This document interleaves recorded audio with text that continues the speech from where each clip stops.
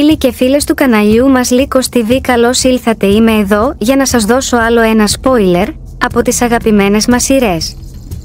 Οι εξελίξεις στα επόμενα επεισόδια της σειράς θα είναι σοκαριστικές.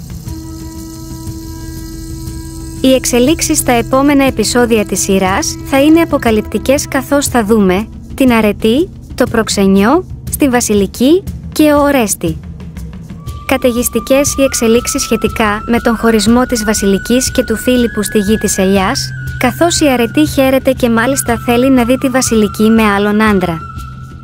Στα τελευταία επεισόδια της χρονιάς, είδαμε ότι ο Φίλιππος και η Βασιλική έχουν καυγάδες έντονους με αφορμή την αποδοχή της Βασιλικής για την Αριάδνη και αυτό φέρνει τον χωρισμό. Οι δυο τους, παρότι ερωτευμένοι ο ένας με τον άλλον, αποφασίζουν να τραβήξουν δρόμους χωριστούς, γιατί δεν πάει άλλο. Ο Φίλιππος δεν αντέχει άλλο αυτή την έκρηθμη κατάσταση. Λικούργος και Χάιδο είναι πλάι τους και θέλουν να τους τα ξαναβρούν, αλλά φαίνεται πως ο εγωισμός και των δύο είναι στα ύψη.